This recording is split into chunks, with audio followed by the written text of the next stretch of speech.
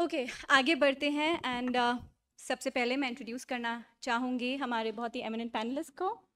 Mister Shams Tahir Khan जैसे मैंने बोला पहले तालियाँ इनके लिए of course I can see that gentleman clapping for him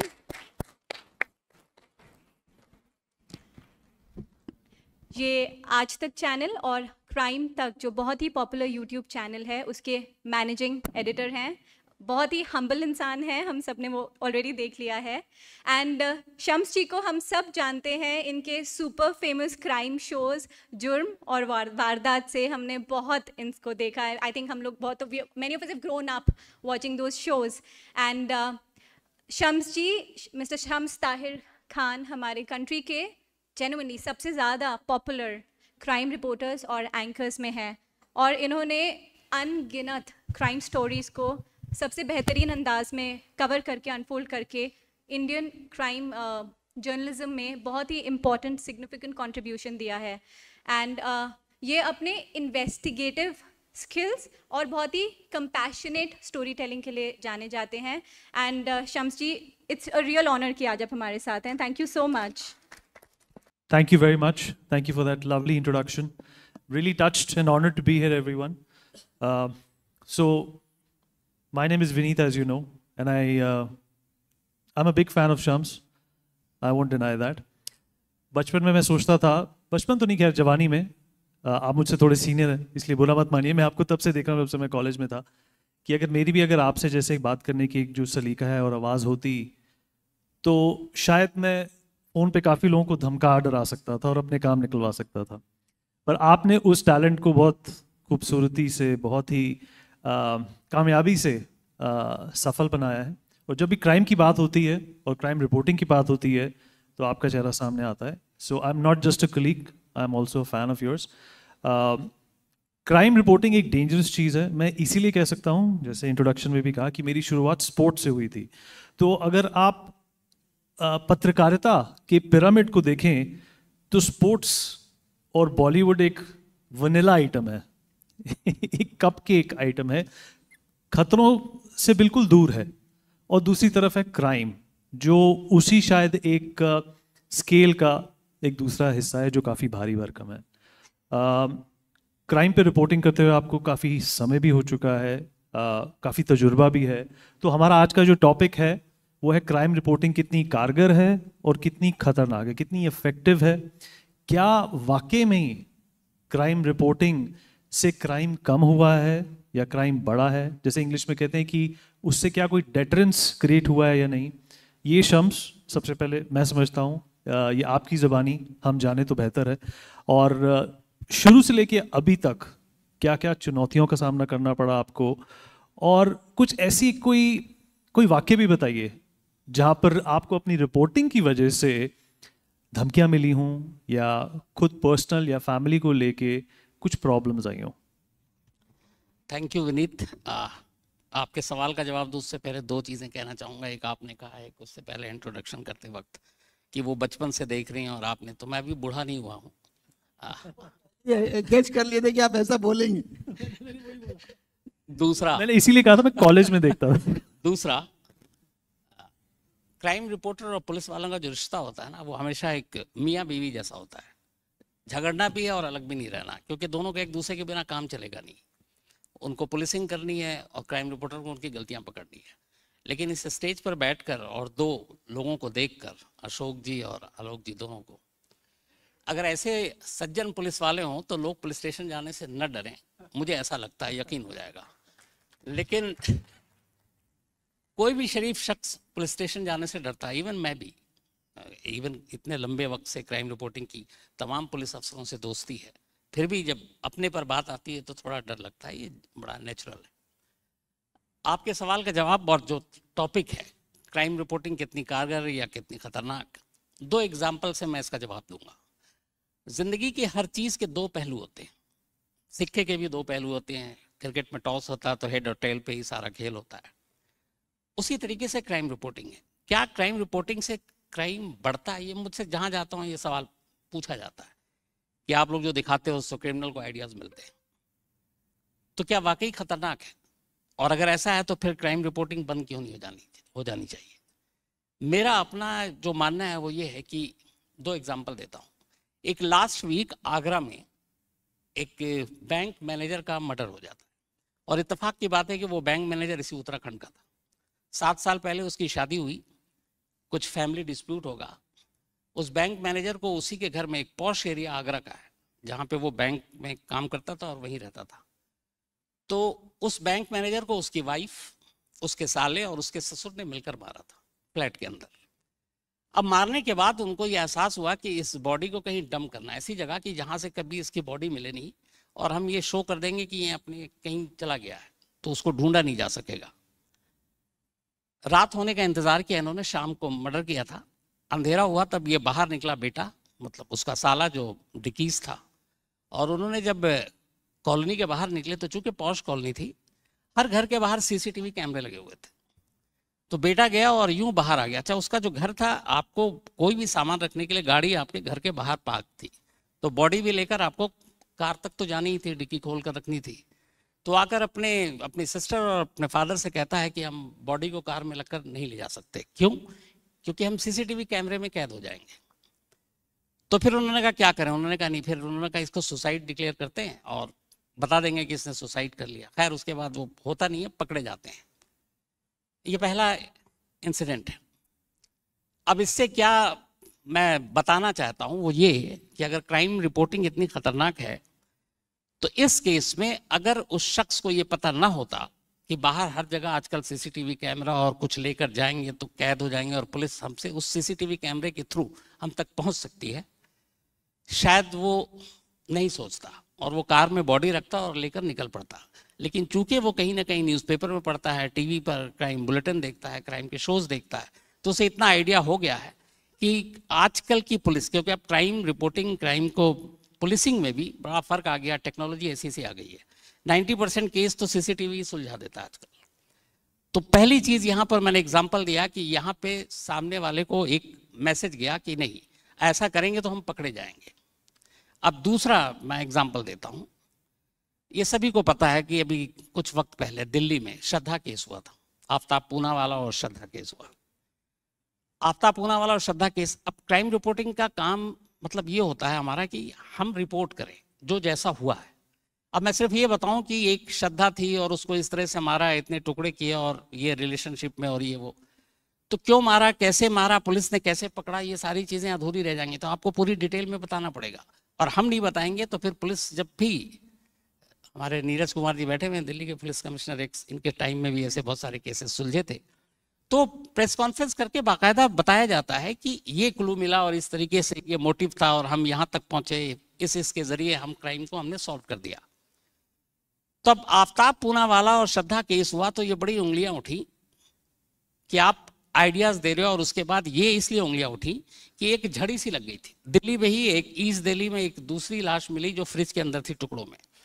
Mumbai में मिली एक, बेंगलुरु में मिली एक एक असम में मिली। तो ये हुआ कि अब हर जगह आजकल मर्डर करने से लोग नहीं डर रहे हैं, लेकिन उसके बाद खुद को बचाने के लिए बॉडी कैसे डंप करें ताकि पुलिस उलझी रहे, उसके नए नए तरीके सोच रहे हैं। तो शायद वो आफ्ताब पूना वाले ने जो जैसा किया कि टुकड़े किए, फ्रिज में रखा, आराम से 20-30 दिन तक किस्तों में ले जाकर वो टुकड़े फेंकता रहा। लेकिन ये आया कि ये आप लोग इतनी डिटेल में दिखा रहे हैं कि इसीलिए बाद में बाकी लोगों को आइडिया मिला और उन्होंने भी फ्रिज में रखना शुरू किया। और वो गलत नहीं कह रहे थे क्योंकि तमाम जगह पे ऐसे केसेस हुए हैं जिसमें फ्रिज से फिर टुकड़े मिले। लेकिन यहाँ पे ये है कि क्या ये श्रद्धा केस को कवर करने की वजह से हुआ? अगर ऐसा है तो इसी उत्तराखंड और इसी देहरादून में मुझे याद है, पंद्रह साल पहले मैं आया था। एक इंजीनियर ने अपनी वाइफ का मर्डर किया था और बाकायदा एक, जो फ्रिज तो नहीं था, फ्रीजर था, जिसके अंदर टुकड़े करके उसने बॉडी रखी थी और हर रात वो पॉलीथीन में ले जाकर इसी देहरादून और मसूरी रोड पर वो फेंका करता था। तो ये तो आफ्ताब और श्रद्धा वाले मामले से पंद्रह साल पुरानी बात है, आइडियाज़ कहीं से भी आ सकता है। लेकिन आजकल टेक्नोलॉजी और सोशल मीडिया ऐसा है कि आइडिया बहुत तेज़ी से पहुँचता है, लेकिन उसके लिए सिर्फ़ क्राइम रिपोर्टर जिम्मेदार नहीं, क्योंकि दोनों पहलू हैं। हम अलर्ट भी करते हैं लोगों को कि आप ऐसा ना करें, अनजान लोगों से बात ना करें, कोई ऐसे आता है, अगर आपके घर में कोई है, कोई स्मेल आ रही है, कोई आवाज़ आ रही है, आप फ़ौरन बताएँ। लेकिन दूसरी तरफ़, ये भी सच है कि क्रिमिनल आइडियाज़ ले जाते हैं। मुझे लगता है कि 95 में जो तंदूर कांड हुआ था, पूरे देश को मालूम है, जब सुशील शर्मा ने नैना सानी अपनी वाइफ को मारा था तो दो घंटे तक वो दिल्ली के आईटीओ ब्रिज पर मारुति कार में उस लाश को रखकर घूम रहा था। उसे यमुना में फेंकना था, लेकिन मौका नहीं मिला क्योंकि वो बड़ा फ़ेमस भी था यूथ कांग्रेस का प्रेसिडेंट था, सब लोग जानते थे।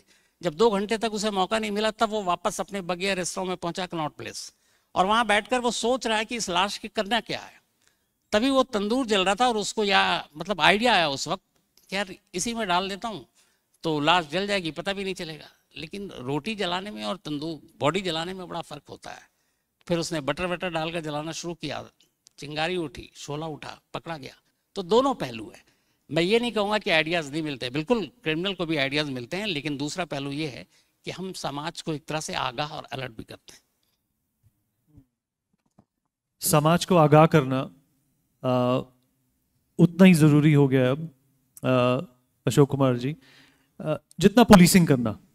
शम्स ने बड़ी खूबसूरती से कहा कि जो एक रिश्ता है जो एक रिलेशनशिप है आ, पुलिस और क्राइम रिपोर्टर्स का या क्राइम रिपोर्टर और पुलिसिंग का, वो मियाँ बीवी वाला एक खट्टा मीठा रिश्ता है। आपके तजुर्बे में, आपके एक्सपीरियंस में, क्या आपको क्राइम रिपोर्टिंग से फ़ायदा हुआ है या नुकसान हुआ है? क्योंकि हम एज जर्नलिस्ट हम एज इंडिविजुअल्स ऐसे कई उदाहरण देख चुके हैं। Lord of examples we have seen जहाँ पर पुलिस कहती है कि ये इन्फॉर्मेशन बाहर नहीं आनी चाहिए, क्योंकि इससे केस पे असर पड़ेगा। मीडिया कहती है, ये इन्फॉर्मेशन बाहर आनी चाहिए ताकि लोगों तक सच पहुँचे। तो ये जो खींचातानी है, इसमें आखिर जीत किसकी होनी चाहिए आपके अनुसार, आपके तजुर्बे के अनुसार? बड़ा सवाल है विनीत जी, और आंसर कहें तो दोनों तरफ़ है। मतलब कभी बहुत यूजफुल भी है क्राइम रिपोर्टिंग और कभी कभी वो हमारे लिए बहुत बड़ी एक चैलेंज बन के भी आता है।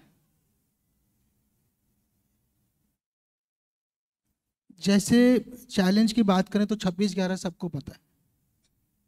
लाइव रिपोर्टिंग हो रही है। जो एंटी इंडिया फोर्सेस हैं, वो भी उसको लाइव देख रहे हैं। और वो वहीं से क्रिमिनल्स को टेररिस्ट को लाइव गाइड भी कर रहे हैं कि बाहर ये चल रहा है।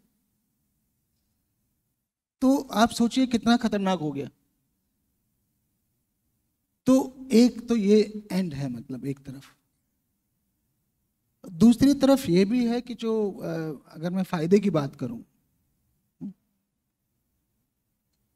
कि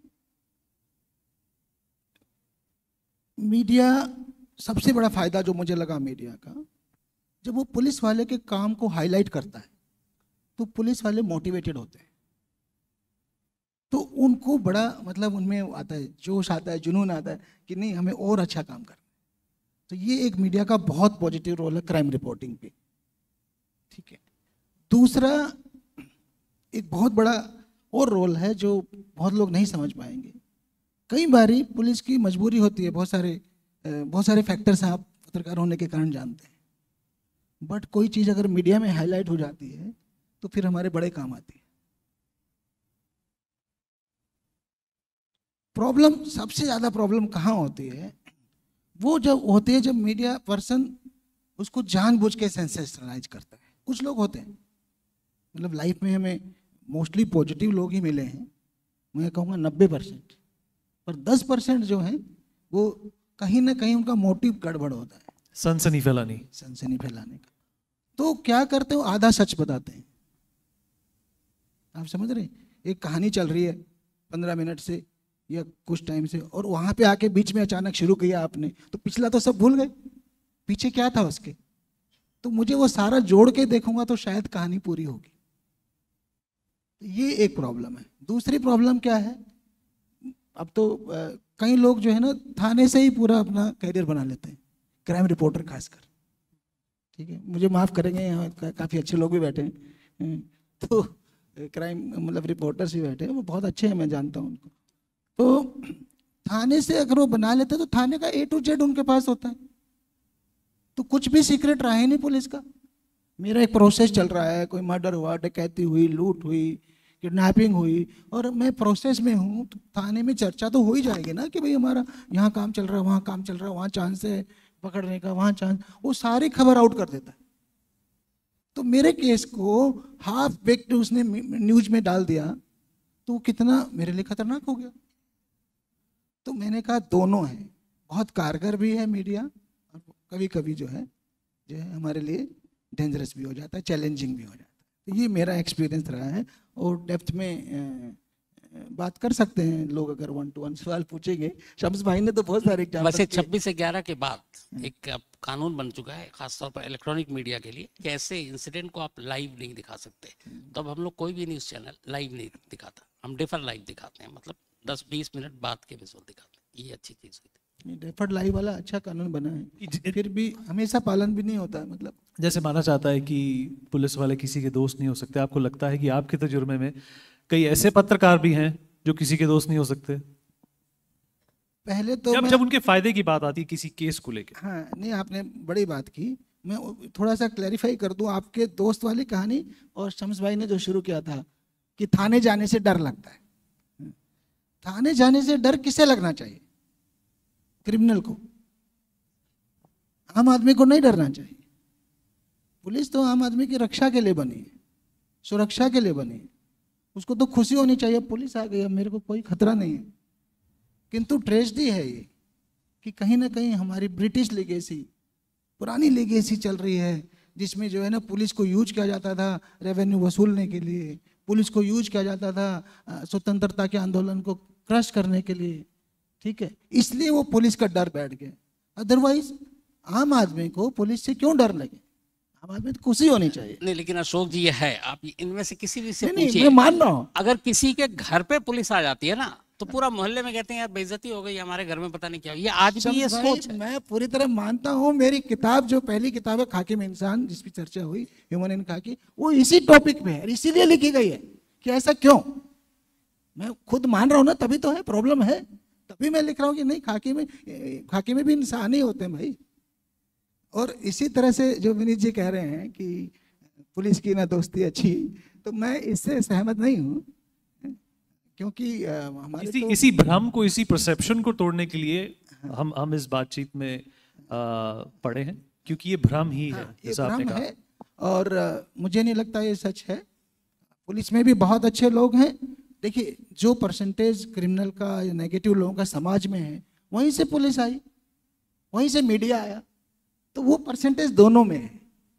जो आपने आपने जो सवाल उठाया था कि क्या मीडिया वाला एकदम जब उसके कैरियर की बात है तो आपसे दोस्ती भूल जाएगा? ऐसा मैंने देखा है। और मैंने कैरियर के बहुत अर्ली स्टेज में देखा। आज आपको बताता हूँ। एग्ज़ाम्पल सहित बताता हूँ। 96 में मैं एसएसपी हरिद्वार था। वहाँ एक स्टैम्पीड हो गई। तो मीडिया मेरे से बहुत ही फ्रेंडली था। ठीक है? तो आई वॉज़ एक्सपेक्टिंग मैंने सबसे बात की कि भाई ये थोड़ा पुलिस के फेवर में लिखेंगे। आई वॉज़ एक्सपेक्टिंग क्योंकि सब मेरे दोस्त थे, चाय पीते थे मेरे साथ। तो पहले पहले, अब तो पैंतीस साल हो गए तो पता है। ठीक है? तो देखा भाई, बड़ा नेगेटिव रिपोर्टिंग हुआ। तो मेरे लिए एक्सपीरियंस था, तजुर्बा था लर्निंग भी थी। क्योंकि अगर वो नहीं रिपोर्ट करेगा तो उसकी तो रोजी रोटी है भाई। वो क्यों, कैसे नहीं रिपोर्ट करेगा? उसकी तो नौकरी चली जाएगी। इट इज़ ए जॉब मुझे खुद खराब नहीं लगना चाहिए। वहाँ दोस्ती की बात ही नहीं है। ये तो उसका काम है, वो करेगा ही करेगा। मैं एट द मोस्ट ये रिक्वेस्ट कर सकता हूँ कि यार पुलिस ने जो किया, उसका वर्जन भी छाप दो। ये मैंने धीरे धीरे टाइम के साथ सीखा। तो नॉर्मली वो दोस्ती निभाते हैं लोग। बहुत बहुत लोगों को मैंने देखा, बहुत अच्छी दोस्ती निभाते हैं। पर कहीं ना कहीं उसके कैरियर का सवाल भी तो हमारी एक्सपेक्टेशन ज़्यादा नहीं होनी चाहिए। बिल्कुल ठीक है Mr. Lal, uh, you know, there is also a healthy pressure that the media and journalists perhaps can create for not the police to do their job. Um, the police does their job regardless whether the media is there or not. Uh, you know, when Jack the Ripper was going around slashing women in uh, Carfax Abbey in London, you know, there was no media. It was being reported by the lo local populace. But do you think that this pressure at times becomes a little overbearing uh, for the police and they have to manage the media as well as the crime at hand? Do you think that has been a problem for the police? What can you tell us from your experiences, uh, you know, from the places that you have been in, Barabanki, and what kind of reporting happened at that point in time? Was it adequate enough to justify the quantum or the scale of the bust that happened under you, if you catch my drift? Vineet बहुत बहुत शुक्रिया। एक बहुत ही sensitive subject पर आप बात कर रहे हैं हम लोगों से। पुलिस का काम जितनी ज़िम्मेदारी का है उतनी ही ज़िम्मेदारी का काम हमारे मीडिया का भी है। बारबंकी के ज़माने में इलेक्ट्रॉनिक मीडिया करीब करीब नहीं था। दूरदर्शन तो सरकारी था तो उसमें कभी उस तरह का सेंसेशनलिज्म देखने को नहीं मिलता था जो आजकल सनसनीखेज़ ख़बरों में मिलता है। मुझे याद है, एक चैनल कोई आता है, उसका नाम ही सनसनी है। कोई एक है ना, एक ऐसा। तो जब नाम ही सनसनी है तो उसमें सच्चाई कितनी होगी, मुझे लगता है कि ये सवाल अपने आप में उठता है। मेरा ये मानना है कि ये एक बहुत अच्छी दोस्ती भी हो सकती है और बहुत नुकसान वाली दोस्ती भी हो सकती है। क्योंकि जब दोनों का ज़िम्मेदारी का काम है तो पुलिस का ज़िम्मेदारी का काम ये है कि वो ज़िम्मेदारी के साथ उन सब लोगों के ख़िलाफ़ एक्शन ले, जो समाज में अपराध कर रहे हैं या अपराध जैसी स्थितियाँ पैदा कर रहे हैं। अगर पुलिस ये काम नहीं करती है तो अपना काम नहीं कर रही है। इसी तरह से अगर पुलिस वाला अच्छा काम नहीं कर रहा है, उसके बारे में मीडिया को मालूम पड़ता है। और मीडिया इस बात को दबा ले जाता है, किसी दबाव की वजह से। अशोक दोस्ती की बात कर रहे थे कि अगर प्रेस वाले में और पुलिस वाले में दोस्ती है तो उसका ये नेगेटिव साइड हो सकता है कि जो बात आम जनता के सामने पहुंचनी चाहिए वह नहीं पहुँचे। तो मैं ये मानता हूँ कि ये ख़तरनाक तब बनता है जब इन दोनों के ताल्लुक किसी मोटिव के साथ आते हैं, मैं उस का बहुत ज़्यादा डिटेल में बात करना उचित नहीं समझते क्या क्या मोटिव्स हो सकते हैं। आप भी जानते हैं और सब भी जानते हैं। तो वो मोटिव्स कई बार बड़े ख़तरनाक होते हैं। दूसरी तरफ़ ये कारगर भी बहुत है। आपने कहा कि एक प्रेशर बिल्ड होता है और हर पब्लिक सर्वेंट के सामने ये सवाल रहता है। कि अगर मैं ये गलत करूँगा तो उसका रिएक्शन पब्लिक में क्या होगा? और पब्लिक का रिएक्शन तब आता है जब मीडिया उस चीज़ को रिपोर्ट करता है।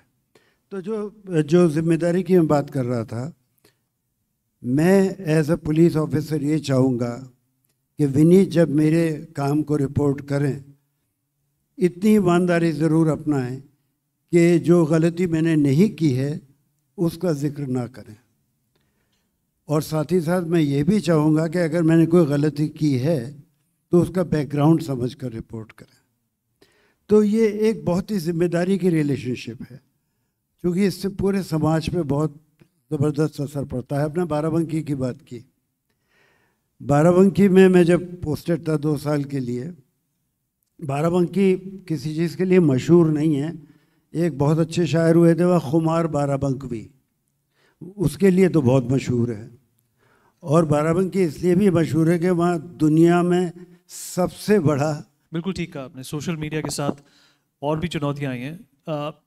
शम्स, दोनों ही महाशय ने बात की और एक अल्फाज इस्तेमाल किया, ज़िम्मेदारी रिस्पॉन्सिबिलिटी जो मुझे लगता है एक बहुत ही संवेदनशील और एक बहुत ही सेंसिटिव चीज़ है, जिसको शायद मीडिया को और पत्रकारों को भी समझना चाहिए।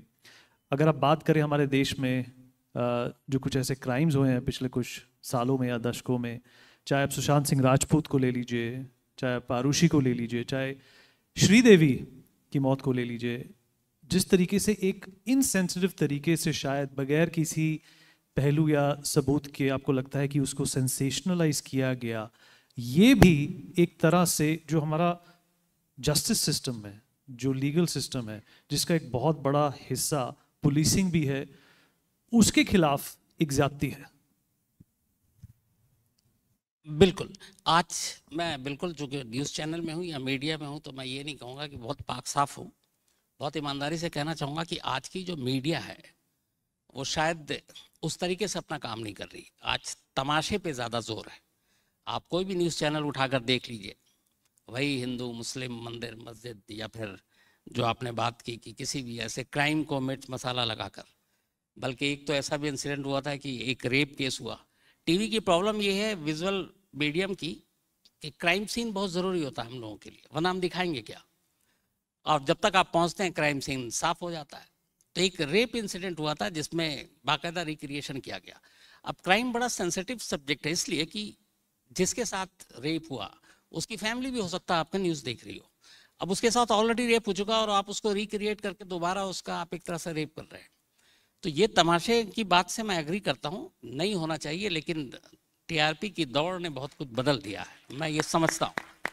लेकिन दूसरी चीज़, जो आलोक जी ने भी कहा अभी कि मीडिया में एक चीज़ है, और ये मीडिया है क्यों? सबसे पहले हम लोग को ये बेसिक समझना चाहिए कि किसी की तारीफ़ करने के लिए नहीं है, बल्कि एक मंत्र है हमारे यहाँ कि good news is no news simple और बेसिकली क्राइम रिपोर्टर का काम क्या है? किसी की तारीफ़ नहीं करना। क्राइम रिपोर्टर का ये भी काम नहीं है कि वो किस, आप उसकी रिपोर्टिंग से सोसाइटी में क्राइम कम हो जाएगा। ऐसा भी नहीं, क्योंकि उसके पास अथॉरिटी नहीं है। वो तो पुलिस और बाकी एजेंसियों के पास है। आपका काम क्या है? जो जैसे हुआ वैसे रिपोर्ट करना। बिना मिर्च मसाला लगाए हुए, बिना तमाशा किए हुए। लेकिन इत्तेफाक से जो कहें, आजकल शायद नहीं हो रहा, पहले दस साल पहले तक हुआ करता था। लेकिन अब जो मैंने कहा कि तारीफ़ करना नहीं है, एक वॉचडॉग की तरह नज़र रखना है मीडिया का काम। वो सिर्फ़ क्राइम रिपोर्टर के लिए नहीं, जो भी जर्नलिस्ट है, जो पॉलिटिकल करते हैं गवर्नमेंट क्या कर रही है, उसके ऊपर नज़र रखना है। क्राइम रिपोर्टर का काम है कि कैसे, कहाँ पे कुछ गलत हो रहा है। मैं इसका दो एग्ज़ाम्पल देता हूँ आपको। अभी लास्ट वीक एक इलाहाबाद हाई कोर्ट ने फैसला दिया। बहुत ही फ़ेमस केस है, निठारी केस आप सब जानते होंगे। सोलह बच्चियों के रेप एंड मर्डर के केस के एफआईआर दर्ज हुए। सीबीआई ने नोएडा पुलिस के बाद मामले की जाँच की। दो अक्यूज थे, एक सुरेंद्र कोहली और दूसरा मुनिंदर सिंह पंडेर जो उस कोठी का मालिक। मुनिंदर सिंह पंडेर के खिलाफ छह मामले दर्ज थे और सुरेंद्र कोहली के खिलाफ सोलह। पंद्रह मामलों में सुरेंद्र कोहली को फांसी की सजा दी। गाजियाबाद की सीबीआई कोर्ट ने, लोअर कोर्ट ने। उसको उसने चैलेंज किया इलाहाबाद हाई कोर्ट में। पंद्रह के पंद्रह मामलों में सुरेंद्र कोहली को बरी कर दिया गया। अब सोलह केस में से एक ही केस बचा है, वो सुप्रीम कोर्ट में, वो भी लाइफ इम्प्रिजमेंट है, यानी उम्र कैद। तभी आप अंदाज़ा लगाएँ कि 16 केस उसमें 15 में बरी और अब एक बचा है, वो भी उम्र कैद। तो शायद अब सुप्रीम कोर्ट का अल्लाह जाने क्या होना है। मोलिंदर सिंह पटेल, छह केस थे, तीन केस तो सीबीआई कोर्ट ने रिजेक्ट कर दिए। तीन बचा, तीन में लोअर कोर्ट ने फांसी की सजा दी। इलाहाबाद हाई कोर्ट में गए, तीनों में इलाहाबाद हाई कोर्ट ने मोलिंदर सिंह पंडेर को भी बरी कर दिया। अब याद कीजिए वो टाइम 2006 था शायद, जब निठारी कांड हुआ। पूरा देश, पूरी मीडिया एक कोठी के अंदर सोलह बच्चे और छोटे छोटे बच्चे बारह आठ साल के। और लग रहा था कि पता नहीं इनको कल ही फांसी पे चढ़ा दो। अब ऐसे सेंसिटिव केस की अगर इलाहाबाद हाईकोर्ट का आप जजमेंट पढ़ें तो फिर क्या करेंगे आप? आप सवाल उठाएँगे। जजमेंट में यह है बेसिक चीज़ है कि एक सुरेंद्र कोहली ने सीआरपीसी 164 के तहत मजिस्ट्रेट के सामने बयान दर्ज किया। 164 के तहत बयान दर्ज करना और पुलिस कस्टडी में बयान देना दोनों अलग चीज़ है। इलाहाबाद हाईकोर्ट ने कहा कि ये बयान में कोहली कह रहा कि हाँ मैंने मारा, मैंने बच्चों को पकाया, उनको खाया। ठीक है जी। ये सीडी है। सीडी में तो आप एडिट भी कर सकते हैं। या हम लोग टीवी में काम करते हैं, हम जानते हैं, हम कुछ भी एडिट कर सकते हैं। आजकल तो सोशल मीडिया पर भी लोग एडिट कर देते हैं। तो सीबीआई के वकील ने कहा, नहीं नहीं, ये तो रियल है। तो उसने कहा, ठीक है। जो आपने उसका रिकॉर्ड किया था इंटरव्यू मजिस्ट्रेट के सामने तो उसमें कोहली का है कि मर्ज़ी से उसने इंटरव्यू दिया उसका सिग्नेचर और जिस मजिस्ट्रेट ने साइन किया उसका सिग्नेचर पेपर दीजिए। साइन ही नहीं था। अब ये कितनी बड़ी लापरवाही है। चलिए, ये लापरवाही भी कम है। उसने कहा, ये एडिटेड नहीं है। उसने कहा, नहीं सीबीआई के वकील ने तो इलाहाबाद हाईकोर्ट ने कहा, ओके, आप मुझे वो मेमोरी चिप दीजिए, जिस कैमरे में इसका इंटरव्यू रिकॉर्ड हुआ था, ताकि हमें पता चल जाए उसमें रॉ फुटेज है। सीबीआई के वकील और सीबीआई में हड़कम मत गया। वो मेमोरी चिप कहाँ आज तक किसी को पता नहीं। तो बोला, यार, जब ऐसा है तो फिर इसमें तो कहानियाँ ही कहानियाँ हैं, ना कोई विटनेस है, ना कुछ और है तो आप कैसे इसको फांसी पे टांग देंगे? तो अंदाज़ा ये देखिए कि आप पंद्रह मामलों में कोली भरी और छह के छह मामले में पंडेर पंडेर तो बाहर भी आ गया आप चंडीगढ़ में पहुँच गया उस केस का क्या, जो सोलह बच्चे मारे गए तो अब ऐसे में मीडिया अगर उंगली उठाती है सीबीआई की इन्वेस्टिगेशन पे तो ये जन्मिन है, लोगों को जानने का हक है कि जजमेंट में क्या क्या कहा गया। ये तो सिंपल केस है, आरुषि केस को ले लीजिए आप। इसी गाजियाबाद की कोर्ट ने यही सीबीआई ने जाँच की और सीबीआई ने तो पहले कह दिया क्लोजर रिपोर्ट कोई एविडेंस नहीं है। क्या ऋषि या हेमराज को किसने मारा? कहानियाँ हैं, सबूत नहीं है। कोर्ट ने कहा, नहीं नहीं, आप ये क्लोजर रिपोर्ट मत दीजिए, इसी को चार्जशीट बना दीजिए। सीबीआई ने चार्जशीट बना दी। उसके बाद कोर्ट ने फैसला सुनाया। आरुषि के माँ बाप नुपुर और डॉक्टर राजेश तलवार को लाइफ इम्प्रिजमेंट उम्र कैद की सजा दी। दोनों ने इलाहाबाद हाईकोर्ट में चैलेंज किया। इलाहाबाद हाईकोर्ट ने दोनों को बरी कर दिया। कहा, आपके पास सिर्फ़ कहानियाँ हैं, सबूत नहीं है। अब वो सीबीआई सुप्रीम कोर्ट गई है, उसको भी गए हुए आठ दस साल तो हो गए। आरुषि और हेमराज का कातिल कौन है? आज 2008 से लेकर कितने, पंद्रह साल हो गए, हमें नहीं मालूम। लिठारी का हाल हमने देख लिया। अभी आपने ज़िक्र किया सुशांत सिंह राजपूत 2020 तीन महीने तक मैं खुद मुंबई में पड़ा हुआ था। उस वक्त एक तमाशा चल रहा था कि सुसाइड है कि मर्डर है, सुसाइड है कि मर्डर है। सीबीआई की टीम पहुँचती है। और ये जब सीबीआई और ये सारी टीम जो पहुँचती है, दिल्ली से मुंबई गई, इतना ताम झाम छः छः सात सात गाड़ियाँ, ये सब खर्चा सरकारी नहीं होता, ये आम लोगों के टैक्स के पैसे होते हैं, है ना? वहाँ पे सुबह से वो निकलते एक एक करके बुलाते, एक एक तरह से परेड चल रहा था कि लोगों को बुला के पूछताछ। और हम सब वहीं खड़े हुए, उसका हिस्सा है उस तमाशे का। आज 2023 है, तीन साल हो गए। भाई, इतना तो बता दो कि सुसाइड था कि मर्डर था इन्वेस्टिगेशन पूरी कर ली, तुम्हारे पास फॉरेंसिक रिपोर्ट आ गई, जाँच की सारी हो गई विटनेस सारे हो गए, कुछ नहीं। तो अब ऐसे में सवाल आदमी ना उठाए तो क्या करे? इसलिए ये ज़रूरी है कि मीडिया एक वॉच डॉग की भूमिका बिल्कुल ठीक है आपने, एक वॉच डॉग है। और अशोक कुमार जी, आपने ही एक अभी टिप्पणी की थी कि मीडिया का शायद जो दबदबा है, जो उसका इम्पैक्ट है, वो कहीं ना कहीं स्लो डाउन हो रहा है। मीडिया मीडिया को एक चौथा स्तंभ माना जाता है फोर्थ पिलर ऑफ़ डेमोक्रेसी माना जाता है। पर शायद अब वो कहीं ना कहीं घुल मिल के सोशल मीडिया भी एक स्तंभ का हिस्सा बनता जा रहा है। आप ही के सवाल से, आपकी बात से एक सवाल मैं निकालना चाहूँगा कि आपको लगता है कि अगर सोशल मीडिया किसी हद तक मीडिया को रिप्लेस करता है एक्चुअल इलेक्ट्रॉनिक और प्रिंट मीडिया को तो ये जो प्रॉब्लम है रिस्पॉन्सिबिलिटी की ज़िम्मेदारी की रिस्पॉन्सिबल रिपोर्टिंग की पत्रकारिता की ये बढ़ेगी या फिर कम होगी? देखिए हर कोई हर कोई सिटीजन जर्नलिस्ट बन जाएगा फिर ठीक है? जिसके फॉलोअर्स ज़्यादा होंगे किसी के दस मिलियन फॉलोअर्स हैं वो अगर एक टिप्पणी कर देता है किसी केस के ऊपर या आपकी फाइंडिंग के ऊपर या किसी ऑन गोइंग केस के ऊपर तब जो ग्रेविटी है वो उसकी बात पर ज़्यादा दी जाएगी। देखिए विनीत जी इसमें अगर का तो सवाल ही नहीं बचा है। हम्म, वो तो ऑलरेडी रिप्लेस तो आधा कर ही चुका है। अब देखिए रात को कितने लोग टीवी देख रहे हैं। पहले तो चौबीस हर चौबीस घंटे टीवी देखा जाता था। तो वो तो लाइफ तो बहुत कुछ सोशल मीडिया पे आ ही चुका है। अब उसमें यूट्यूबर भी पैदा हो गए केदारनाथ जी में एक हज़ार कहानियाँ अलग अलग तरह के स्टंटबाजी क्योंकि उनके यूट्यूब उतना ही चलेगा जितना ज़्यादा वो उसमें ड्रामे पैदा करेगा जैसे इन्होंने तमाशा पैदा करेगा। तो वो तो ऑलरेडी हो चुका है। अब ये है कि उसको रिस्पॉन्सिबल कौन बनाए? और जो ट्रेडिशनल मीडिया है, उसका फ्यूचर क्या हो? ट्रेडिशनल मीडिया तो इसलिए उस पर आ गया ना, अब देखो हल्ला मचा रहता है बस। इतनी इतनी, इतना हल्ला मचा रहता है कि आदमी परेशान होकर बंद कर देता है चैनल को। क्योंकि उसके बिना उनके पास टीआरपी नहीं है। तो न्यू न्यूज़ तो जब अखबार था, जो मैंने तीस साल पुरानी बात की तो न्यूज़ जो है, एक दिन में एक बार आती थी। सुबह सुबह हर आदमी अखबार का इंतज़ार करता था।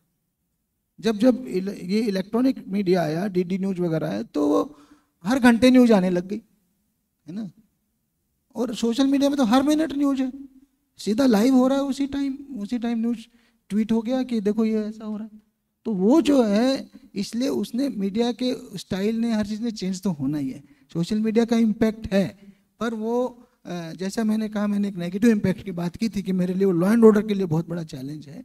ऐसे ही जो ट्रेडिशनल मीडिया है या जो हमारा इलेक्ट्रॉनिक मीडिया है, वो उस वो उस चैलेंज को कैसे पार पाता है, ये एक चिंतन और मंथन का विषय है। आलोक जी, आपकी क्या राय है इस पर कि सोशल मीडिया पर जो बातचीत हो रही है और एक, जो मीडिया का ऑल्टरनेटिव क्रिएट किया जा रहा है आ, वो भी एक वजह बन सकती है चिंता की। जहाँ तक बात होती है लॉ एंड ऑर्डर की जहाँ तक बात होती है सेंसिटाइजेशन की पर मैं ये भी मानता हूँ being a journalist myself कि सोशल मीडिया पे कौन क्या कह रहा है उसको भी तवज्जो देना चाहिए। अगर कोई बॉलीवुड का सेलिब्रिटी किसी क्राइम को लेकर टिप्पणी कर रहा है विजवी कोई ऐसा शख्स जो कानून से रिलेटेड है और वो टिप्पणी कर रहा है दोनों की बात के वज़न में फ़र्क होगा। ज़ाहिर है फ़र्क होगा। लेकिन साथ ही साथ ये भी समझने की ज़रूरत है कि पुलिस को अपना काम ट्रांसपेरेंटली करना ज़रूरी है। और जहाँ ट्रांसपेरेंसी की कमी होती है, वहाँ पर सवाल बहुत सारे उठते हैं। लेकिन साथ ही साथ ये भी ज़रूरी है कि पुलिस थाने की दीवारें कांच की नहीं बन सकती हैं। पुलिस थाने की दीवारें कांच की नहीं बन सकती शम्स। क्योंकि जो कुछ पुलिस कर रही है, वो सब पब्लिक के सामने नहीं आना चाहिए। ये इसके इंटरेस्ट में है कि लोगों को जस्टिस मिले। जैसे इन्वेस्टिगेशन का प्रोसेस चल रहा है।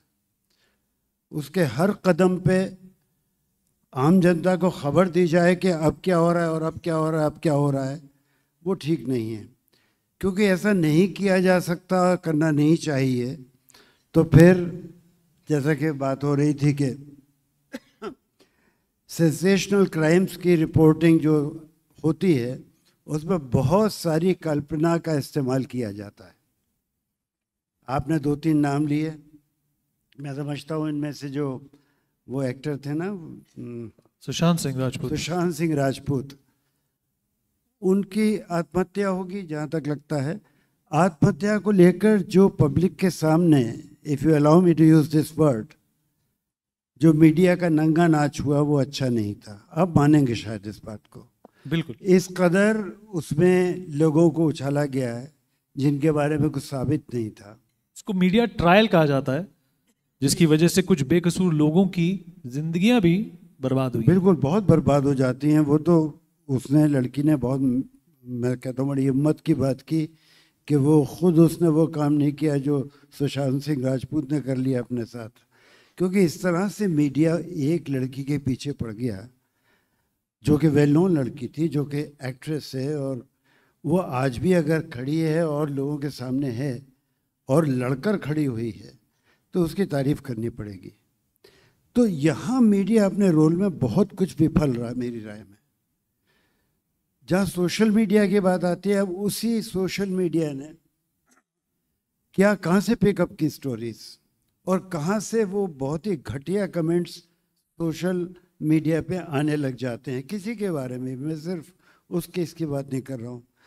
सिर्फ़ किसी एक रिपोर्ट को लेकर हज़ारों लोग फिर उस पर एक्सपर्ट्स बन जाते हैं।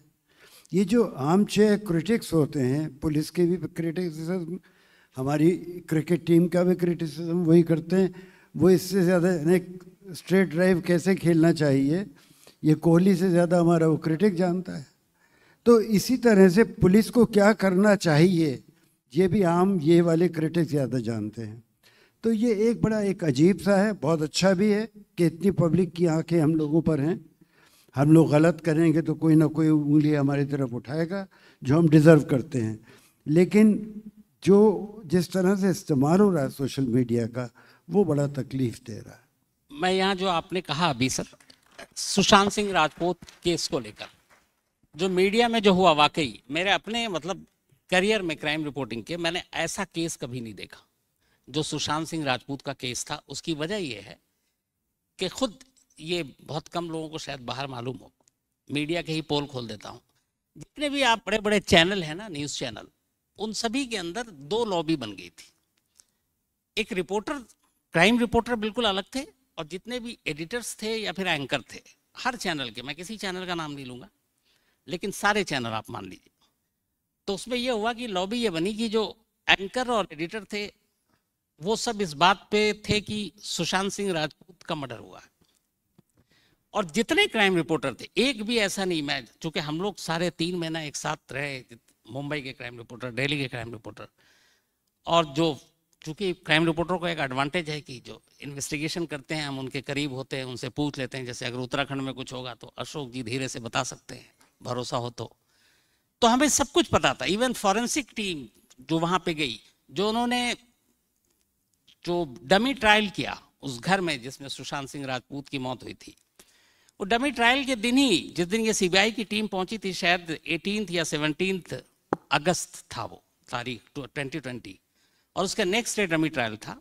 और डमी ट्रायल करके वो निकले और रात को ही उन्होंने बताया कि हाँ ये सुसाइड कर सकता उस पर बड़े सारे सवाल उठ रहे थे कि एक फेब इंडिया के कुर्ते से एक सत्तर अस्सी किलो का कोई शख्स नहीं झूल सकता। जबकि ये बिल्कुल बेबुनियाद बात है। आ, पतली सी रस्सी से भी कोई आदमी सुसाइड कर सकता है बल्कि बैठ के भी सुसाइड कर सकता है लेट के भी सुसाइड कर सकता है। लेकिन लोग कहते हैं पैर टच कर रहा सुसाइड नहीं हो सकता। लेकिन उस दिन यह हुआ था कि मीडिया के दो हिस्से हो गए थे और हर चैनल में। तो इसीलिए जो एंकर थे और जो एडिटर्स थे, वो चले गए मर्डर की तरफ़। जो हार्ड कोर क्राइम रिपोर्टर थे, वो चले गए सुसाइड की तरफ़, जो कि मेरी नज़र में सही था। और अगर ये ना होता तो आज तीन साल तक सीबीआई इसको दबा कर नहीं बैठती खोल कर बता देती। लेकिन पता नहीं क्या उनका मकसद है कि अभी तक दबा कर रखे हुए हैं। वरना मेरी नज़र में अगर मैंने जितना देखा है हंड्रेड परसेंट सुशांत सिंह राजपूत वाला केस एक सुसाइड केस था। एक विनीत जी, में इनके पिछली बार का एक कमेंट था, जो सवाल उठाने की आपने बात की थी, जो लोग छूट गए क्रिमिनल्स उस पे मैं आप सभी प्रबुद्ध जनों को इंटेलेक्चुअल्स यहाँ बैठे हैं, बस इतना बताना चाहता हूँ कि क्रिमिनल जस्टिस सिस्टम के चार पाँच पिलर्स हैं। पुलिस उनमें से एक है। मेजर पिलर है पुलिस किंतु जेल भी दूसरा पिलर है। प्रोसिक्यूशन भी एक पिलर है जुडिशरी भी एक पिलर है। ये सब मिल करके क्रिमिनल जस्टिस सिस्टम बनता है देश का। पुलिस पे सवाल उठाना बहुत आसान है। सजा दिलाने में जेल नहीं है ना सर। मुझे पुलिस और प्रोसिक्यूशन है मुझे बात पूरी करने दी पुलिस पे सवाल उठाना बहुत आसान है। वो इजी टारगेट है मतलब सवाल उठाना इजी है आप भी जानते हो। किंतु एक पिलर ऐसा है जिस पर न आप सवाल उठा सकते हो न मैं उठा सकता बिल्कुल ठीक है आपने। नहीं उस पर भी सवाल उठता है सर ऐसा नहीं है। उठता है। बहुत मुश्किल है आप नहीं कह रहे हैं मैं कह रहा हूँ सर जुडिशरी की बात हो रही है। जुडिशरी पे भी सवाल उठता है। और अगर देखिए जुडिशरी पे सवाल उठाना कोई ये ये नहीं कि हम अदालत की तोहीन कर रहे हैं या मानना है। क्यों? अगर ऐसा होता तो हमारे देश में तीन अदालतें नहीं होती। लोअर कोर्ट हाई कोर्ट और सुप्रीम कोर्ट है क्यों? इसीलिए कि अगर लोअर कोर्ट के आप फैसले से संतुष्ट नहीं तो आप हाई कोर्ट जाएँगे। हाई कोर्ट से भी आपको लगता है गलत फैसला है तो आप सुप्रीम कोर्ट जाएँगे। तो अगर आप किसी कोर्ट के फैसले से ऊपरी के कोर्ट में जा रहे हैं तो आप मान कर चल रहे हैं कि इसने गलत फैसला दिया। तो अगर मैं गलत को गलत कह रहा हूँ तो ये फिर अदालत की आप मानना हो ही नहीं सकती। जुडिशरी लेकिन हाँ इससे आगे कुछ नहीं कह सकता फिर मुश्किल हो जाएगी। चलिए अब अब समय भी हो चुका है। एक बात जरा सी मैं इसे जी। कहना चाहूँगा। देखिए जितना पुलिस को एक्सपोज करने में मज़ा आता है, इसको किसी को नहीं आता। तो जो फेवरेट विपिंग बॉय है फेवरेट विपिंग बॉय वो हम दोनों बीच में बैठे हैं, आप लोगों के लिए। तो मुझे सिर्फ़ इतना कहना है कि पुलिस वाला सड़क पर नज़र आता है, वो वर्दी पहन के अपना काम करता है। कुछ और लोग जो उसी समाज की सेवा कर रहे हैं, सरकार के मुलाजिम हैं, इसलिए वो पब्लिक सर्वेंट है। वो क्या कर रहे हैं उसका पता भी नहीं चलता। और अगर आप वो बता भी देंगे तो पढ़ने में किसको इंटरेस्ट है? नहीं सर, एक चीज़ में मैं पुलिस की दिल से सैल्यूट करता हूँ और मुझे लगता है यहाँ बैठे हुए जितने भी लोग हैं, और मैं जानता हूँ क्योंकि मेरे पुलिस वाले बहुत सारे दोस्त हैं। उनका कोई भी त्यौहार हो फ़ंक्शन हो, हर दिन चाहे गर्मी हो, बरसात हो, कोई भी मौसम हो ठंड हो, सड़क पर जब वो ड्यूटी दे रहे होते हैं ना सर जिस वक्त और जिस हालत में दे रहे होते हैं, मुझे लगता है कोई पत्थर दिल ही होगा जिसका दिल नहीं पसीजता होगा। तो इस काम के लिए वाकई पुलिस वालों को सैल्यूट है चलिए अपनी बातचीत खत्म करते हैं और एक आखिरी सवाल लेना चाहूँगा मैं। ऑडियंस के पास भी आएँगे हम पर from the policeman as a पत्रकार मैं आपसे सवाल पूछना चाहता हूँ अशोक जी आपसे पहले। लोग अक्सर ये कहते हैं नीति को लेके रिफॉर्म्स को लेके कि पुलिस में रिफॉर्म्स होने चाहिए। क्या पुलिस को ये लगना चाहिए कि शायद पत्रकारिता में भी रिफॉर्म्स होने चाहिए? देखिए रिफॉर्म्स का स्कोप तो हमेशा बना रहता है।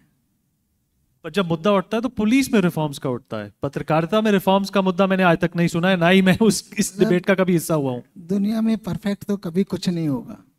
ठीक है ना? हमारी सभ्यता बहुत ग्रैंड थी बहुत महान थी। अभी धीरे धीरे खोज भी रहे हैं दोबारा से। परंतु फिर भी हमेशा कुछ न कुछ तो नया करने को बचा ही रहता है। तो पुलिस में रिफॉर्म्स की ज़रूरत है। पर वो पूरे क्यों नहीं हो पाते वो आप भी जानते हैं। पुलिस इतनी बड़ी पावर है उसे आसानी से कौन जाने देगा अपने हाथ से? बिल्कुल ठीक है इसलिए पुलिस रिफॉर्म्स पूरे सर, नहीं हो सर आपकी क्या टिप्पणी है? दे दे से कि that if you want to test someone's character give them power do you think that the media ends up misusing its power मैं आपसे सौ फ़ीसद से भी ज़्यादा सहमत हूँ कि दोनों जगह रिफॉर्म्स की ज़रूरत है। लेकिन एक जगह रिफॉर्म्स करने के लिए पॉलिटिकल विल की ज़रूरत है। दूसरी जगह रिफॉर्म्स करने के लिए आत्मचिंतन की ज़रूरत है। बहुत बड़ी बात करी आपने। Big round of applause please मेरे ख्याल से दूसरी जगह रिफॉर्म करने के लिए फाइनेंशियल फ्रीडम की ज़रूरत है। चलिए we have finished this big round of applause we got some great answers बहुत अच्छे जवाब निकले बहुत पर्सपेक्टिव डेवलप हुआ। Now I am gonna request people from the audience किसी के अगर कोई सवाल है तो प्लीज़ अपने हाथ खड़े कीजिए और बताइए आप किससे क्या पूछना चाहते हैं। Madam Pooja. Please, Ma, pass the mic. Thank you, sir. Fab session. My question is actually twofold because I would like an answer from the cops as well as from the media. How much pressure are you under from the politicians and senior leadership of India, especially when it comes to crime cases against them, HNIs, VIPs, etc.? And you are under pressure, that is a given. But how much do you really listen to? The cop side as well as the media side? Shams मैं ये कहूँ कि कोई pressure नहीं होता है तो बिल्कुल झूठ बोलूँगा। होता है और ये आपके ऊपर है कि आप उसको कैसे हैंडल करते हैं। दूसरा मेरा मानना है कि जो बहुत ही हाई प्रोफ़ाइल केसेस होते हैं उसमें ये भी आप उसको पूरी तरह से आप छुपा नहीं सकते। बड़े बड़े इस देश में मर्डर हुए या रेप के केसेस हुए जिसमें बड़े बड़े लोग इन्वॉल्व थे तो आप उससे आँखें बंद नहीं कर सकते लोगों को पता चल चुका है। हाँ अब उसको आप कैसे डायरेक्शन देंगे आप उसको कैसे मोड़ेंगे केस को ये सारा खेल भी होता है। और मतलब मैं जो कह रहा हूँ सच कह रहा हूँ। Sachi. बिल्कुल मैं कोई छुपाता there नहीं इस मामले में। because we never, as citizens of India, we never, I feel, get the actual true story.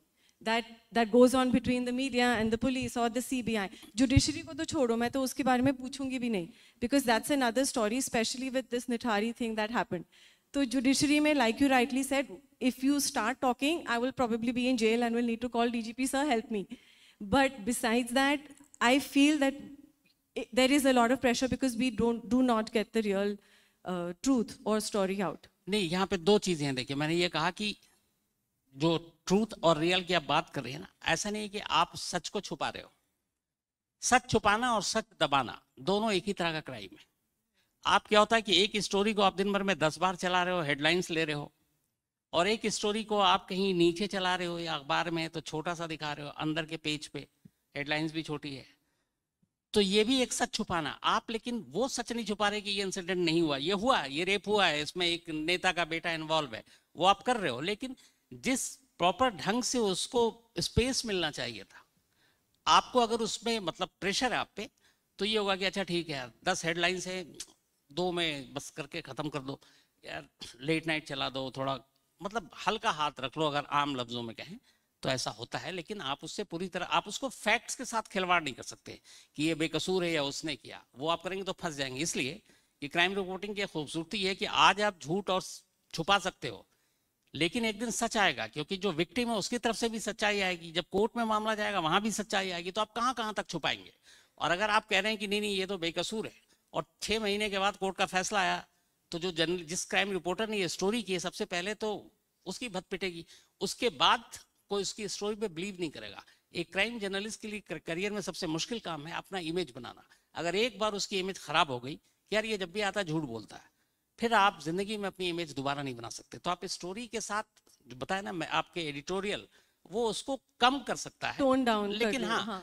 आप सच्चाई नहीं छुपा सकते from the Thank cop you. side, Uh, my question is to Mr. Khan. Sir, you've been a journalist for a long time and must have worked under pressures uh, where there was a lot of uh, political uh, polit- political issue being a part of the thing. So, what do you think can be some provisions put in place to avoid such situations and uh, protect the sanctity of media?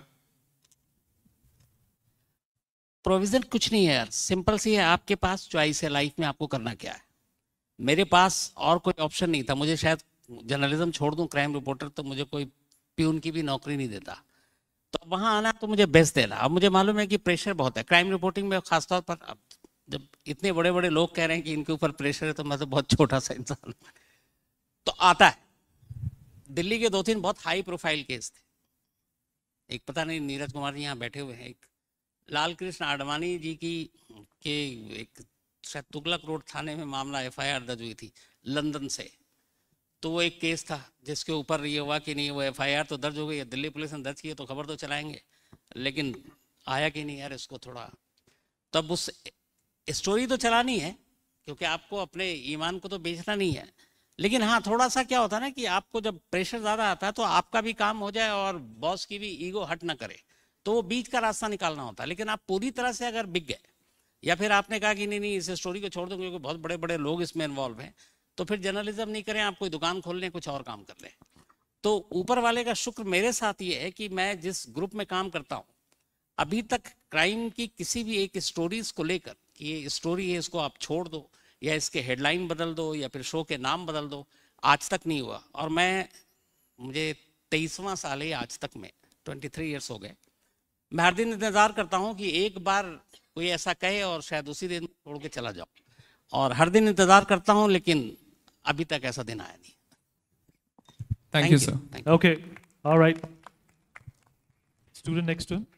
My name is Shadan Sharma. I'm an assistant professor, public policy and administration at Devbhumi Uttarakhand University. Sir, my question is simple. अभी हम discuss कर रहे हैं social media impact के बारे में पर police में जो अभी भी है वो कोई एक्सपर्ट नहीं रिक्रूट किए जाते हैं सोशल मीडिया हैंडल करने के लिए इसके रिलेटेड क्या फ्यूचर पॉलिसीज़ है बिकॉज़ हमारे सामने ऑनरेबल डीजीपी सर है सोशल मीडिया हैंडल करने के लिए as a fifth pillar of democracy क्या पॉलिसीज़ है गवर्नमेंट के पास और एज अ डीजीपी जो आपने कहा कि एक्सपर्ट रिक्रूट नहीं किए जाते वो सोशल मीडिया ही नहीं बाकी और भी बहुत सारे टेक्निकल काम है हमारे। सर ठीक है? जैसे Yes, साइबर क्राइम तेज़ी से बढ़ रहा है। सर उसके लिए मुझे रियल में एक्सपर्ट्स की ज़रूरत है। बट यू नो पुलिस में पोस्ट नई पोस्ट क्रिएट कराना is not an easy job reason being कि जब एक नई पोस्ट क्रिएट होती है ना उसके साथ स्टेट गवर्नमेंट का फाइनेंशियल बर्डन बहुत बढ़ता है। क्योंकि वो लाइफ लॉन्ग फिर के आ गए फिर उनके पेंशन है बहुत सारी और सारी चीज़ें। तो इट डिपेंड्स कई बारी लगता है बहुत ज़रूरी है ये मतलब अकेला मेरा डिसीज़न नहीं है मतलब Yes, पूरे फाइनेंस कार्मिक और गवर्नमेंट पूरी इन्वॉल्व होती है। तो कुछ स्टेट्स ने मैं बता रहा हूँ मतलब सोशल मीडिया से ज़्यादा बड़ी ज़रूरत इस टाइम साइबर क्राइम था। तो वो भी अभी मुश्किल से दो एक स्टेट में क्रिएट हुआ है। पंजाब में हुआ है शायद तेलंगाना या केरला में हुआ है। बाकी कहते हैं आप अपने में से रिसोर्स रेज कर लो। सर अपने लोगों को ट्रेन कर लो। एंड वी डू इट ऐसा नहीं है वो भी काफ़ी अच्छा काम कर रहे हैं। ऐसा भी नहीं है जो मेरा सोशल मीडिया हैंडल कर रहा है sub inspector is very very efficient इसी तरह से साइबर कॉप आपने सुना होगा अंकुश मिश्रा है हमारा। Yes. वो पूरे देश का बेस्ट साइबर कॉप है ऑलमोस्ट Yes. तो टाइम लगता है। Sir one more question Okay, okay, no, only one question, Sir, please. But it was a good question. Sit down, sit down, please, please. Only one question. Thank you so much. One There to are too one many people. one There are to too many people. But it was a good question. Please, a round of applause for his question, please. Hello Sham sir मैं आपकी story सुनता हूँ Go on. अ, मेरा question Shams sir से है अ, जैसे आप मुलजिम और मुजरिम दोनों से आपका रबता पड़ता रहता है तो अ, मतलब थोड़ा सा ये जानना चाहता हूँ कि मतलब उनके माइंड में क्या चलता है क्या वो हीट ऑफ़ द मूवमेंट में क्राइम हो जाता है या वो ऑर्गेनाइज्ड होता है पहले से। और दूसरा ये कि अ, अ, जब क्राइम हो गया तो जो वन टाइम ऑफेंडर है क्या वो रिग्रेटफुल फील करता है? या जो हार्ड कोर क्रिमिनल है जो बार बार इसको रेगुलरली जो क्राइम कर रहा है वो भी रिग्रेटफुल फील करता है या वो अपने फेम को एंजॉय करता है जब उसकी न्यूज़ पब्लिश होगी? बड़ा टफ क्वेश्चन इसलिए है कि ये कायदे से सीनियर हमारे पुलिस अफसर बता सकते हैं लेकिन मैं अपने तजुर्बे या जितने भी क्रिमिनल से मिला बातचीत की एक एग्जांपल दूँगा, उससे आपको सवाल का जवाब मिल जाएगा। आफ्ताब पूना वाला, अभी श्रद्धा केस में। मुझे उससे दो बार मिलने का मौका मिला। जब उससे मिला, क्या फ्लुएंट इंग्लिश बोलता और इतना कॉन्फिडेंट स्मार्ट भी दिखता है? जब आप उससे मिलोगे, और अगर ये आफ्ताब पूना वाला की जगह मैं कहूँ कि इसका नाम अनिल या फिर मेहताब है, और श्रद्धा केस से आप उसको अलग करके देखोगे तो आप कहोगे कि यार, क्या डायनेमिक लड़का है? क्या अगर स्टूडेंट टाइप दिखता है तो क्या स्टूडेंट होगा? और कॉन्फिडेंस जिस तरीके से बात करता है। तो मैंने उससे पूछा, उसका वकील मेरे साथ था, उन्हीं की वजह से मिला था मैं। तो जब पूछा तो उसने एक बार भी उससे पूरी श्रद्धा केस के बारे में जो बात की, कहीं पे भी कोई रिग्रेट नहीं, बल्कि उसे ये भी नहीं कि मुझसे बहुत बड़ी गलती हो गई, अब मेरा पूरा करियर बर्बाद, मैं पूरी ज़िंदगी जेल में रहूँ, जेल से शायद वो बाहर आएगा भी नहीं। लेकिन कोई अफसोस नहीं था। सिर्फ़ उसने एक लाइन कहा कि हाँ मुझे गुस्सा आ गया था, हमारा झगड़ा हुआ था। यहाँ तक उसकी बात ठीक थी। झगड़े में जितने ज़्यादा अगर आप ऑर्गेनाइज क्राइम को छोड़ दो तो जो वैसे मर्डर के केसेस होते हैं, शायद 98 98 99 परसेंट चार दीवारी के अंदर होते हैं मर्डर या रेप दोनों केसेस तो वहाँ कोई झगड़ा हुआ, अचानक गुस्सा आया, आपने मर्डर कर दिया, उसके बाद आप प्लान करते हैं आप, क्योंकि गुस्सा ठंडा हो गया कि आप करना क्या आप तो पकड़े जाएँगे, पुलिस आ जाएगी तो बचना कैसे? तो उसने बताया बताया कि हाँ मुझे उस वक्त गुस्से में हो गया था तो फिर मैंने उससे पूछा कि तुमने ये क्यों किया? एक मर्डर किया था, झगड़ा हुआ तो शायद तुम्हें कम सजा मिलती, अगर सिंपल तुम पकड़े जाते। जिस तरीके से बॉडी के इतने पार्ट्स तुमने किए, तीस, बत्तीस, जो भी थे एग्जैक्ट तो ये सारे आइडियाज़ तब तब उसने बताया कि वो आराम से बैठता था लैपटॉप खोलता था हाउ टू डिस्पोज बॉडी और ये सारे वो चेक करता था सोशल मीडिया पे और गूगल्स करके। और फिर कैसे रूम फ्रेशनर रखना है, कैसे बॉडी को प्रिजर्व करके रखना है, कैसे स्मेल नहीं आए कैसे रूम फ्रेशनर खरीदना ये सारी चीज़ें और वो तसल्ली से और नॉर्मल लाइफ जीता था डेली नॉर्मल है, बल्कि इसके बाद भी उसने एक दो लड़कियों को भी बुलाया अपने फ्लैट पे। तो इन लोगों के दिमाग में जो होता है ना कि एक बार समझ में आपको नहीं आएगा किसी एक क्रिमिनल से। लेकिन जितने भी क्रिमिनल है, अगर इनके ज़रिए, आफ्ताब के ज़रिए मैं सोचूं तो इन सब का ये है कि जब वो करता है ना तो उसकी दिमागी हालत कुछ और, वो मतलब इंसान की कैटेगरी से थोड़ा सा अलग हो जाता है। तो क्रिमिनल के माइंड को वैसे पढ़ना बड़ा मुश्किल काम होता है क्योंकि हर क्रिमिनल का दिमाग अलग तरीके से काम करता है। मैं इसमें इतना बस ऐड करूँगा कि कुछ क्रिमिनल होते हैं ना वन टाइम ऑफेंडर होते हैं। और वन टाइम क्राइम ना बहुत सारे फैक्टर्स से हो जाता है। मतलब बहुत सारे लोगों से हो जाता है कईयों का रजिस्टर हो जाता है कईयों का नहीं होता पर जिसका रजिस्टर हो जाता है वो क्रिमिनल जस्टिस सिस्टम में घुस जाता है और परेशान हो जाता है एकदम। पुलिस हो, कोर्ट कचहरी हो, चक्कर काट काट के, चाहे वो हीट ऑफ़ द मोमेंट में हुआ हो, किसी के बहकावे में हुआ हो, किसी के इन्फ्लुएंस में हुआ हो तो वो एक्चुअल में रिपेंट भी करता है और उसका कभी कभी हमको भी लगता है कि उसका बैड लग हुआ।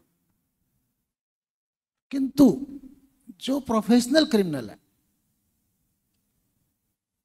वो जो है क्रिमिनल जस्टिस सिस्टम के लूप होल भी समझ जाता है, उसके मन से पुलिस का जुडिशरी का दोनों का डर भी कम हो जाता है और वो सच में रिपेंट नहीं करता उसमें से आधे लोग जो आपने बोला खुद वो अपनी उस पॉपुलैरिटी को एंजॉय करने लगते हैं। फिर वो उस स्टेटस पे आ जाता है कि मैं इतना बड़ा क्रिमिनल ये प्रॉब्लम चलिए any more questions I think we have overshot our time do we have time for more questions hello हाँ okay last question last question then we wrap up female maybe या Sam sir मैं आपकी story सुनता हूँ continue my question is अगर हम देखें on record तो मुझे पता नहीं क्या है लेकिन जैसे 90s है या पुराने टाइम में क्राइम रेट कम था।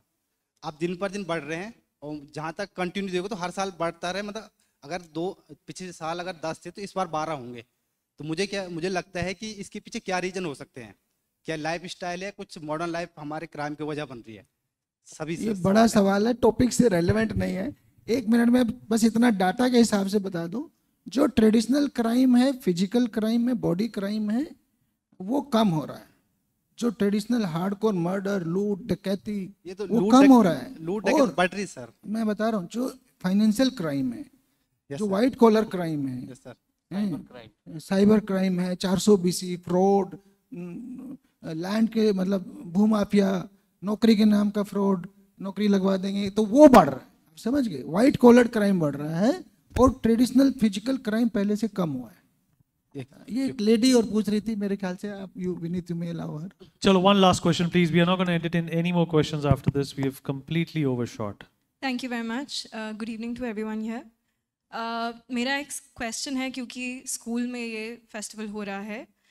Is it possible to work on the psychology of a child's mind to identify how crime can be curtailed? In a later stage जब बच्चा बढ़ रहा होता है जब हम पढ़ा रहे हैं लिखा रहे हैं is it possible to work on the psychology of a child at that point That's a very good question. In So fact, that Alok ji, can I would want you to answer this. She's talking about red flags that you see earlier on and that can be taken care of. I'm so glad you asked this question because uh, you are uh, trying to address the problem at the very root. At the seed level. Uh, ये बात ज़रूर एक ज़माने में थी कि हमारी moral science की किताब क्लासेस हुआ करती थी। वो जो मॉरल साइंस है, वो एक बड़ी अजीब चीज़ थी। वो अक्सर किसी ऐसे टीचर को पढ़ाने को दे दी जाती थी, जो और कुछ नहीं जानता था चाहे पढ़ा दो। तो उसको बहुत ज़्यादा उस ज़माने में भी नज़रअंदाज किया गया, जबकि वो एक पार्ट ऑफ़ दी हमारा सिलेबस था। लेकिन जब वो सिलेबस से ही निकल गया तो फिर मॉरल साइंस कहाँ रह गई? जहाँ तक बच्चे को अर्ली एज में ये डिटेक्ट करना कि इसकी क्रिमिनल टेंडेंसी है कि नहीं, ये सबसे ज़्यादा घर से पता चल सकता है। उसके भाई बहन उसके माता पिता उसके नज़दीकी रिश्तेदार उसके डेली के जो भी बिहेवियर है, उसके बेसिस पर कुछ कंक्लूजन्स निकाल सकते हैं। स्कूल में I am sure you must have been a very bright student I have no doubt about it and you must have tried to impress the teacher as much as you could तो you generally put the best foot forward in a classroom situation और दूसरे, हमारे यहाँ classes बड़ी बहुत हो गई हैं। I know there are schools where one section has 60 boys or girls and so on. So if such a huge number is in front of one teacher, I wonder if individual attention can be given. तो ऐसे में ये पहचानना बड़ा मुश्किल होगा तो ये एक बड़ा जटिल काम है और सबसे अच्छी तरह से मेरे ख्याल से परिवार के अंदर हो सकता है That's a very good question and uh, an important one as well. One of the most famous killers in the world, Ted Bundy, was a doctor. You know, the guy who rammed the uh, uh, airplane into the World Trade Tower, Mohammad Atta, was an engineer. So, you know, perhaps there is a science that will evolve eventually that will, uh, you know, monitor people for criminal activities. Nevertheless, thank you everyone for being so patient and thank you to my panelists for uh, giving great answers. बहुत बहुत धन्यवाद सबका बहुत ही अच्छा और profound session था धन्यवाद